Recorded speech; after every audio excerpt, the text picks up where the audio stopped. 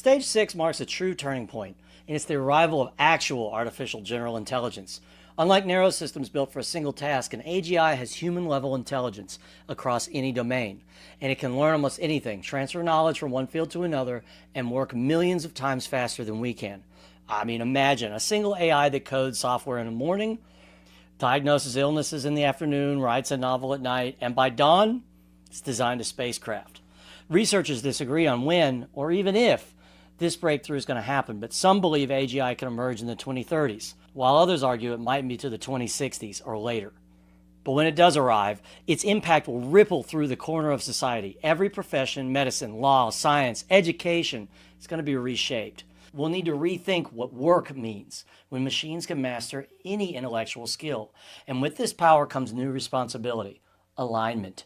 For the first time, we'll have created something that can form its own goals and make its own decisions. How do we ensure these goals remain compatible with ours?